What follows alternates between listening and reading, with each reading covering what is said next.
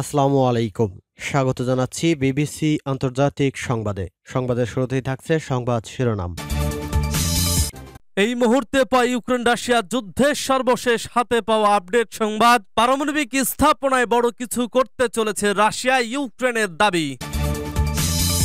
রুশ বাহিনীর বিরুদ্ধে পাল্টা আক্রমণে আমরা প্রস্তুত বলছে ইউক্রেন। এদিকে যুক্তরাষ্ট্রের রানী এলিজাবেথকে হত্যার যে ষড়যন্ত্র করা হয়েছিল এবং জানিয়ে দেব কৃষ্ণ সাগরে যুদ্ধ জাহাজ পাঠানোর ব্যাপারে যুক্তরাষ্ট্র ব্রিটেনকে রাশিয়ার হুঁশিয়ারি। এদিকে ইমরানের খেলা শেষ বললেন মরিয়াম। সর্বশেষ জানিয়ে দেব, ভারত, চীন সীমান্ত ধরে মডেল গ্রাম তৈরি করছে লাল ফৌজ। শুনছিলেন সংবাদ শিরোনাম, এখন বিস্তারিত, তবে তার আগে অনুরোধ থাকবে, ভিডিওটিতে একটি লাইক এবং কমেন্টস করে জানিয়ে দিন আজকের এই ভিডিও সম্পর্কে আপনার মূল্যবান মতামত। আর হ্যাঁ বন্ধুরা, অবশ্যই ঝটপট করে এই ভিডিওটি আপনার বন্ধুদের মাঝে শেয়ার করে ছড়িয়ে দিন। আর জানিয়ে দিন আপনি কোন জেলা থেকে বা কোথা থেকে আমাদের সংবাদ শুনছেন এবং দেখছেন।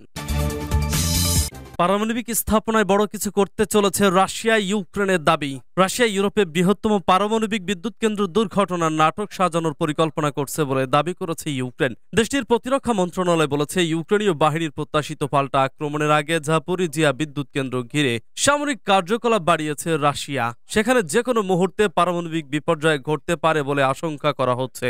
ইউক্রেনের দক্ষিণাঞ্চল ঝাপরিজিয়া বিদ্যুৎ কেন্দ্র বর্তমানে রুশ বাহিনী নিয়ন্ত্রণে। ওই এলাকায় একে অপরের বিরুদ্ধে বারবার হামলার অভিযোগ তুলেছে কিয়েভ ও মস্কো। শুক্রবার ইউক্রেনের গোয়েন্দা অধিদপ্তর বলেছে জাপরিজিয়া পারমাণবিক কেন্দ্রে ব্যাপক উস্কানি ও দুর্ঘটনার নাটক মঞ্চস্থ করার প্রস্তুতি নিচ্ছে রুশ বাহিনী। নিকটতম সময়ে এই ঘটনা ঘটতে পারে বলে সতর্ক করেছে কিয়েভ। ইউক্রেনের গোয়েন্দা অধিদপ্তর এক বিবৃতিতে বলেছে, তারা জেনারেল জেড এনপিপি অর্থাৎ ঝাপরিঝিয়া পারমাণবিক বিদ্যুৎ কেন্দ্র অঞ্চলে আক্রমণের পরিকল্পনা করছে। এরপরে তেজস্ক্রিয় পদার্থ লিকেজের ঘোষণা দেবে। বিবৃতিতে বলা হয়েছে, বিদ্যুৎ কেন্দ্র থেকে তেজস্ক্রিয় পদার্থ লিকেজ একটি বৈশ্বিক ঘটনা হবে এবং আন্তর্জাতিক কর্তৃপক্ষের মাধ্যমে তদন্ত করতে বাধ্য করবে। এই সময়ের মধ্যে সব ধরনের সহিংসতা বন্ধ রাখতে হবে।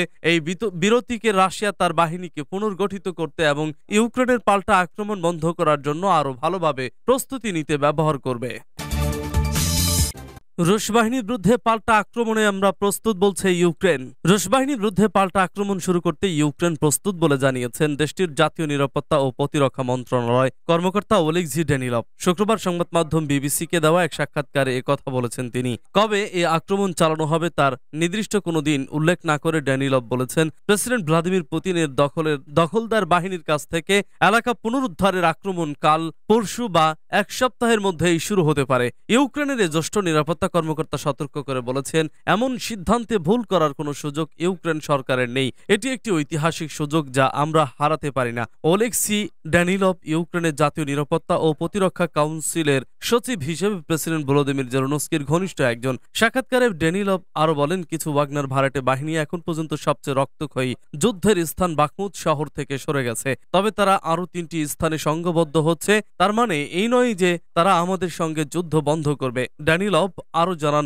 বেলারুশের রাশিয়ার পারমাণবিক অস্ত্র মোতায়েনের বিষয় নিয়ে তিনি কিছুই ভাবছেন না। তিনি বলেন, আমাদের কাছে এটি তেমন কোনো সংবাদ নয়।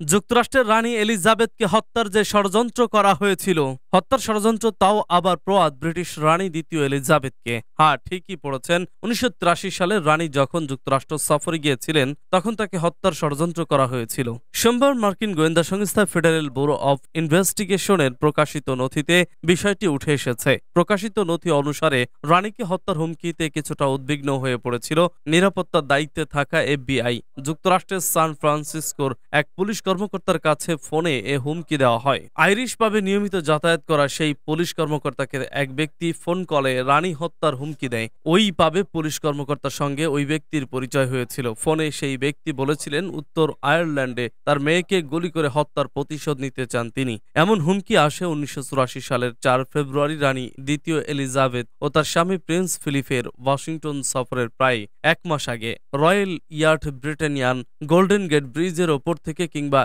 ইয়োসেমাইট জাতীয় উদ্যানের রানীর সফরের সময় তাকে হত্যা করা হবে বলেও জানিয়েছিল সেই ব্যক্তি। নিরাপত্তা নিশ্চিত করতে রানীর সফরের সময় গোল্ডেন গেট দিয়ে প্রবেশের পথ বন্ধ করে দেওয়া হয়েছিল। তবে ইয়োসেমাইট জাতীয় উদ্যানে কি ব্যবস্থা নেওয়া হয়েছিল তা এফবিআই এর প্রকাশিত নথি থেকে জানা যায়নি। কৃষ্ণ সাগরে যুদ্ধ জাহাজ পাঠানোর ব্যাপারে যুক্তরাষ্ট্র, ব্রিটেনকে রাশিয়ার হুঁশিয়ারি।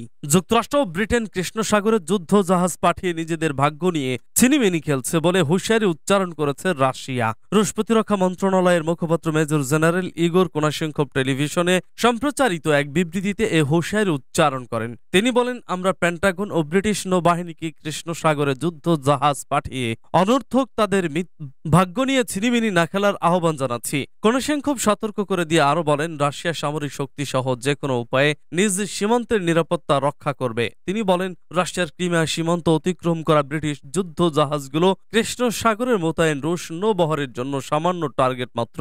গত বুধবার British destroyer H M S Defender Krishna সাগরের ক্রিমিয়া উপকূল অতিক্রম করে। রাশিয়া জানিয়েছে, এ সময় দেশটির সেনাবাহিনী ডেস্ট্রয়ারটির লক্ষ্য করে সতর্কতামূলক গুলি চালানোর পাশাপাশি এটির চলার পথে বোমা বর্ষণ করেন। ব্রিটিশ ডেস্ট্রয়ারটি কৃষ্ণ সাগর হয়ে জর্জিয়া উপকূলে পৌঁছেছে।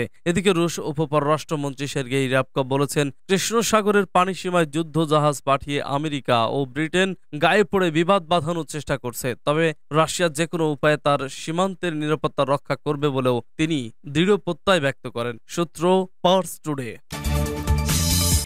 ইমরানের খেলা শেষ বললেন মরিয়ম। ইমরান খানের খেলা শেষ বলে মন্তব্য করেছেন পাকিস্তান মুসলিম লীগ নওয়াজের জ্যেষ্ঠ ভাইস প্রেসিডেন্ট মরিয়ম নওয়াজ। সাবেক প্রধানমন্ত্রী ইমরানের দল পাকিস্তান তেহরিক ইনসাফ থেকে নেতা নেত্রীর পদত্যাগের হিড়িক লাগার পরিপ্রেক্ষিতে তিনি এ মন্তব্য করেন। পাঞ্জাব প্রদেশের বিহারি শহরে আয়োজিত পি এম পিএমএলএন এর যুব সম্মেলনে দেওয়া বক্তব্যে মরিয়ম নয় মে ইরানের গ্রেপ্তারের পর দেশ জুড়ে ছড়িয়ে পড়া সহিংস প্রতিবাদের কঠোর সমালোচনা করেন। ইমরানের মুক্তির দাবিতে রাজপথে নামা তার নেতা কর্মী ও সমর্থকেরা বিভিন্ন সামরিক, বেসামরিক স্থাপনায় হামলা চালান। এরপর থেকে পিটিআই থেকে একে একে নেতারা পদত্যাগ শুরু করেন। নয় মে থেকে এ পর্যন্ত সত্তর জনেরও বেশি নেতা ইমরানকে ছেড়ে গেছেন, উল্লেখ করে দেশটির সাবেক প্রধানমন্ত্রী নওয়াজ শরীফের মেয়ে মরিয়াম বিদ্রুপ করে বলেন, পিটিআই ছাড়তে লম্বা সারি পড়ে গেছে। তিনি বলেন, কীভাবে জনগণ পাশে থাকবে যখন নেতাই একজন শিয়াল? নয় মের সন্ত্রাসের জন্য ইমরানকে দায়ী করে পিএমএল এর এনের জন্য জ্যেষ্ঠ ভাইস প্রেসিডেন্ট বলেন ওই রক্তক্ষয়ে তার হৃদয় ভেঙে গেছে।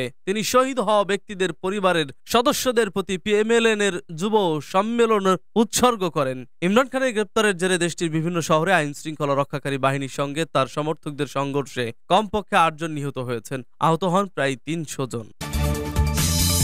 ভারত, চীন সীমান্ত ধরে মডেল গ্রাম তৈরি করছে লাল ফৌজ। ভারত, চীনের প্রকৃত নিয়ন্ত্রণ রেখা, এলসি এর কাছে বেশ কিছু মডেল গ্রাম বানাচ্ছে লাল সেনারা। খবর পাওয়ার পর তৎপর হয়েছে ভারতীয় সীমান্তরক্ষী বাহিনী। ভারতের বিভিন্ন সংবাদ মাধ্যম সূত্রে খবর, যেখানে যেখানে গ্রাম তৈরির বিষয়ে জানা গিয়েছে, সেখানে বাড়তি নজরদারি করা হচ্ছে।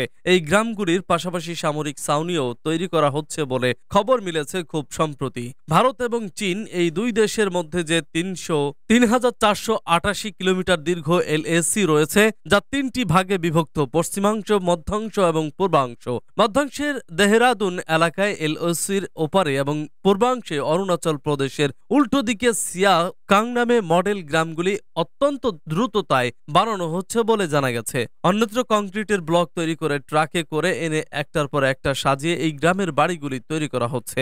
অধিকাংশ বাড়ি বহু তল এক একটি গ্রামে প্রায় দুইশো জনের থাকার ব্যবস্থা করা হচ্ছে। ওই লোকের, ওই এলাকার বাসিন্দারা জানিয়েছেন এলএসির মধ্যাংশে ছয় থেকে সাত কিলোমিটারের মধ্যে সিয়াওকাংগুলি তৈরি করা হচ্ছে। নতুন করে চেকপোস্টও তৈরি করেছে চীনা সেনারা। বাড়ানো হয়েছে টহলদারিও। আগে যেখানে দুই তিন মাসে একবার টহলদারি করা হতো, এখন তা পক্ষকালান্তর করা হচ্ছে। অরুণাচলের কামেং এলাকায় এলএলসির ধারে ইতিমধ্যে দুটি গ্রাম তৈরির কাজ শেষ করেছে চীনারা। প্রায় দুইশো লোক সেখানে বসবাস শুরু করেছেন। তাদের নিরাপত্তার জন্য সেনাদের একটি চেকপোস্টও তৈরি করা হয়েছে বলে খবর।